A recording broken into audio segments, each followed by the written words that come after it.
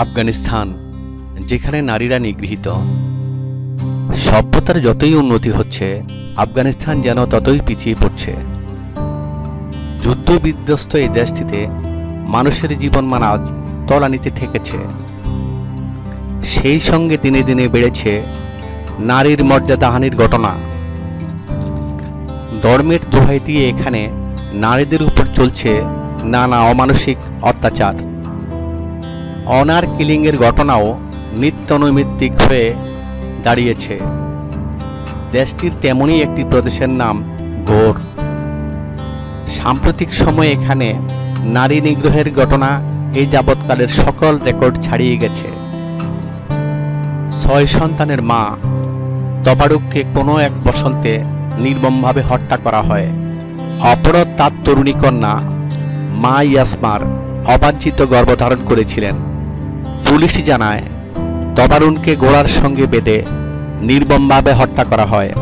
প্রাদেশিক পরিষদের সদস্য এবং মানবাধিকার কর্মী জানান, যতক্ষণ না পর্যন্ত তার মৃত্যু হচ্ছিল, ততক্ষণ তাকে শক্ত করে বেঁধে রাখা হয়। তবে এ নিয়ে আরও একটি ব্যাখ্যা রয়েছে, তা হচ্ছে, ইয়াসমার ভাই, বয়স আট, সে জানায়, তার মাকে ওরা গুলি করে হত্যা করেছে। আফগানিস্তানের এই চিত্র শুধু একজন তবারুকের নয়। এই চিত্র গোটা আফগানিস্তানে ছড়িয়ে রয়েছে। এখানে একের পর এক নানাভাবে নারীদের অত্যাচার করা হচ্ছে। কিন্তু যে পুরুষের কারণে তারা এসবের শিকার হচ্ছে, তারা রয়ে যাচ্ছে সবকিছুর আড়ালে। বিচারহীনতা এখন নিয়মে পরিণত হয়েছে।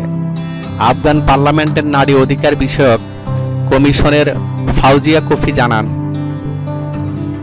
গত বছরে এ ধরনের প্রায় একশো আঠারোটি ঘটনা রয়েছে। তিনি বলেন, প্রকৃত বিচারের অভাবে এ ধরনের ঘটনা ঘটে চলেছে। আর এসব ঘটনায় এখন পর্যন্ত একজনও গ্রেপ্তার হয়নি। গৌর প্রদেশ ঘুরে এসে তিনি বলেন, এখানে নারীদের কোনো মূল্য নেই। বিষয়টিকে এমনভাবে ধরা হয় যে মৃত্যুই তার শেষ পরিণতি ছিল। সাত লাখ জনসংখ্যা অধ্যুষিত এই প্রদেশটিকে ধরা হয়ে থাকে সবচেয়ে বঞ্চিত স্থান হিসাবে। সরকারেরও এই বিষয়টির দিকে তেমন একটা নজর নেই। আইনের শাসন এখানে নেই বললেই চলে।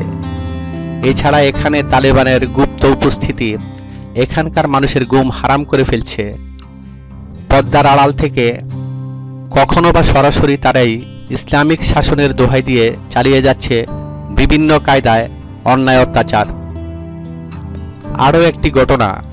দুই পনেরো সালের রুকসানা, বয়স উনিশ, নামে এক তরুণীকে জোর করে বিয়ে দেওয়ার চেষ্টা করা হয়েছিল।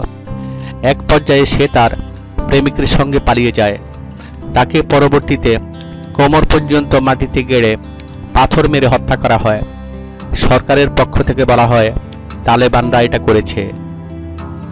অথচ সেই প্রেমিককে কোনো সাজা দেওয়া হয়নি? আরও একটি ঘটনা গত জুনের। নাম তার আজেজ গুল।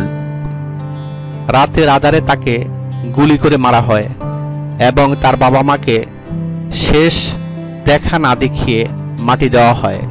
পুলিশ রেকর্ড বলছে, সে তার প্রেমিকের সঙ্গে পালিয়ে গিয়েছিল। পথে তাকে ধরে নির্মমভাবে হত্যা করা হয়।